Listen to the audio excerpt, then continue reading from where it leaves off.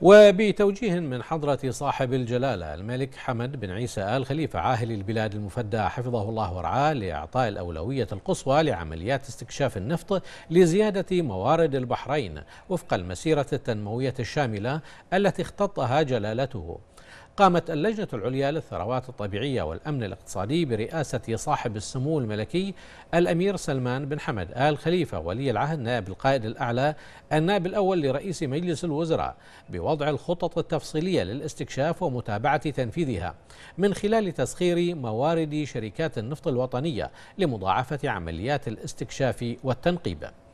وقد أسفرت أعمال اللجنة بتوفيق من الله في التوصل إلى أكبر اكتشاف في تاريخ مملكة البحرين. وبهذه المناسبة يرفع صاحب السمو الملكي ولي العهد نائب القائد الأعلى النائب الأول لرئيس مجلس الوزراء وأعضاء اللجنة أسمى آيات التبريكات إلى المقام السامي لحضرة صاحب الجلالة الملك المفدى وإلى صاحب السمو الملكي رئيس مجلس الوزراء. وتعلن اللجنة العليا للثروات الطبيعية والأمن الاقتصادي عن اكتشاف مورد كبير من النفط الصخري الخفيف تقدر كمياته بأضعاف حقل البحرين بالإضافة إلى اكتشاف كميات كبيرة من الغاز العميق.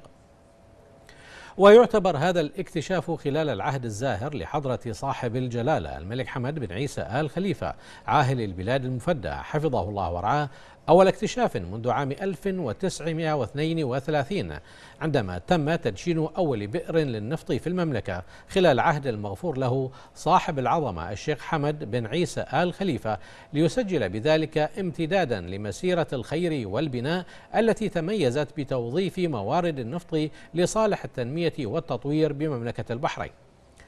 وفور صدور التوجيهات الملكية السامية باشرت اللجنة العليا للثروات الطبيعية والأمن الاقتصادي وضع الخطط التفصيلية لمضاعفة عمليات الاستكشاف والتنقيب حيث تم توجيه الهيئة الوطنية للنفط والغاز وشركات النفط الوطنية بالعمل على تحسين مستوى المسح الجيولوجي من خلال توظيف أفضل التقنيات المتاحة وحفر عدد من الآبار الاستكشافية في الفترة الماضية والاستعانة بالشركات العالمية في هذا المجال.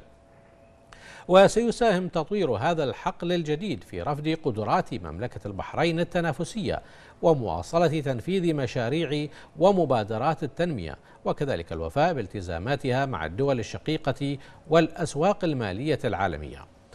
وقد وجه صاحب السمو الملكي ولي العهد نائب القائد الأعلى النائب الأول لرئيس مجلس الوزراء الهيئة الوطنية للنفط والغاز لتحديد جدوى الكميات القابلة للاستخراج من هذا الحقل الجديد ووضع الخطط لتطويره بالمدة الزمنية مع مراعاة الطبيعة الجيولوجية للموقع وتكلفة الاستخراج ليكون لهذا الحقل مساهمات قيمة ضمن الموارد الوطنية في مسيرة التنمية والتطوير.